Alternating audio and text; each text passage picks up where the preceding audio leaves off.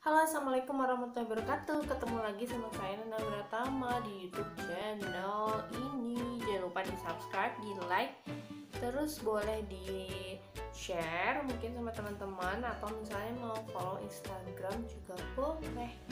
Nah sesuai janji waktu itu maaf banget Baru sempat review. Di video yang sebelumnya kan aku review di Zoya Cosmetic Cushion Mineral Cushion yang translucent. Sekarang mau review yang warna sandnya apa sih? Ya bedanya warna translucent sama sand Zoya Cosmetic Flawless Cushion ini sama aja dari segi packaging. Dia sama yang membedakannya di bagian belakangnya. Dan di unit boxnya di bagian bawah itu ada tulisan ini yang sand lalu ini ada yang warna translucent jadi dibedain dari si label belakangnya. Untuk warnanya sendiri ini bedanya cincin. Ini yang warna translucent. Ini yang warna sand. Yang translucent ini untuk warna yang medium to light.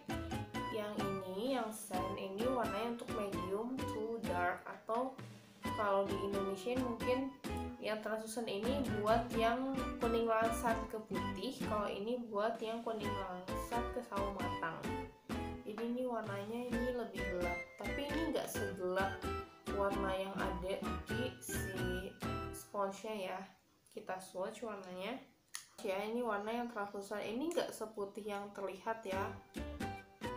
Aslinya tuh enggak gitu gitu banget gitu warna aslinya jadi kalau misalnya lihat cushion jangan lihat dari si spotnya jadi lebih baik kalian cobain langsung. Ini yang warna translucent.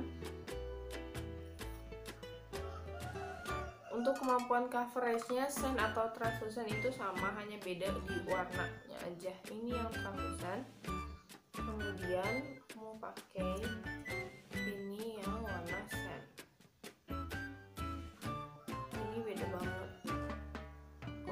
kulitku ini lebih gelap. Ini lebih gelap daripada bagian pergelangan tangannya. Jadi untuk tangannya lebih gelap. Jadi ini kayak nyatu sama warna kulit. Gitu. Ini kita swatch lagi warna sandnya ini aku swatch agak banyak ya jadi biar kelihatan bedanya.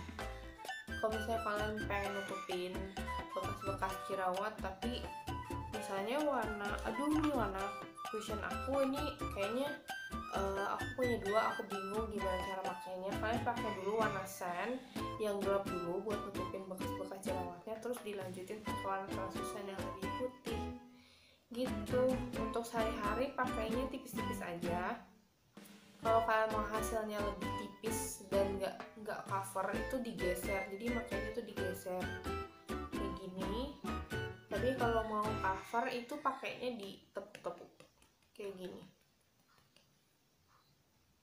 Gitu.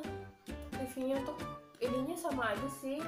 Dia nutupin banget cover untuk nggak kelihatan urat-uratnya. Dia cover banget pada makanya tadi digeser.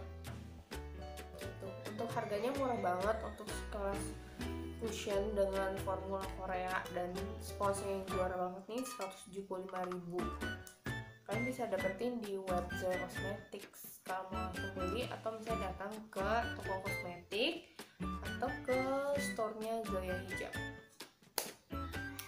Nggak sebingung lagi mau pilih cushion khusus untuk warna kulit sawo matang udah ada Zoya Cosmetic Flowers Mineral Cushion dengan warna sand jangan takut pakai cushion ya